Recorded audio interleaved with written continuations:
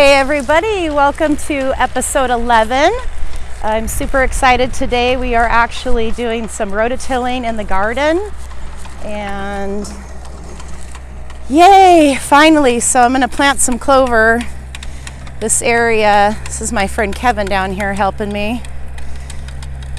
This area is kind of a mess, but we're going to plant some clover and hopefully that will choke out these invasive weeds.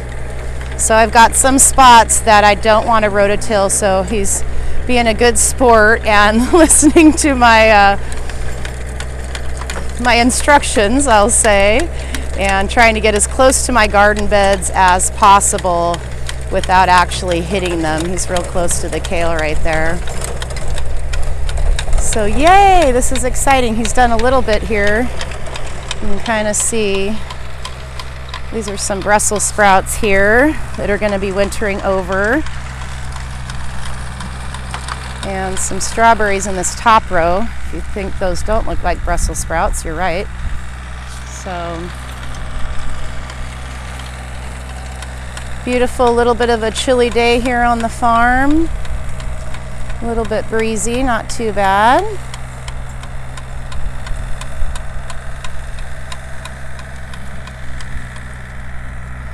So we'll come over here and check out this area here. So he'll end up doing a couple swipes through with the rototiller. I'll rake out some of these big chunks and then try to rake it flat and do my planting and then I'll just kind of lightly rake some soil over the clover leaf. So I've got my work cut out for me as you can clearly see.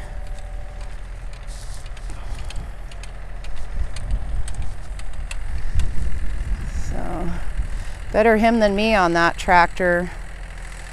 I am not comfortable on heavy equipment on any sort of hills. It really freaks me out. I know it's not going over because of the weight of the vehicle, but holy cow, it's scary.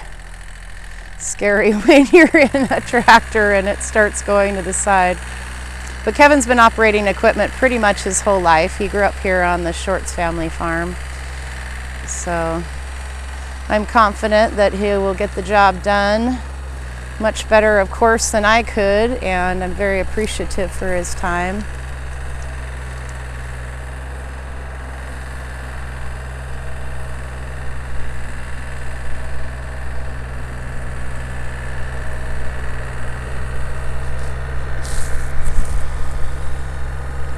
Without getting in the way here, I'm going to come back and just kind of show you the soil here. So that's really, really nice looking. Minus, of course, all these these weeds, but you can see what beautiful soil that is.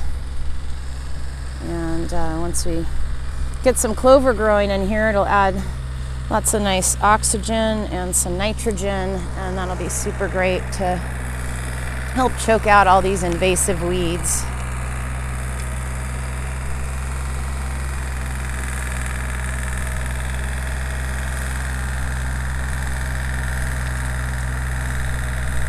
Did I mention I'm so excited about this?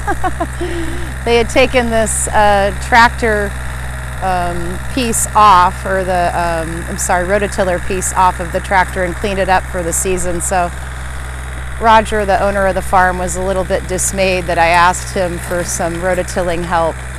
So uh, they are good sports and put it back on, and uh, I'm happy to have this done, that's for darn sure.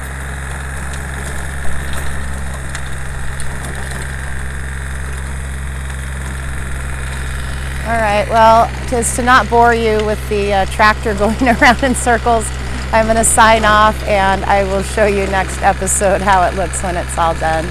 Thanks for watching. I appreciate your time and I hope you have a really great day.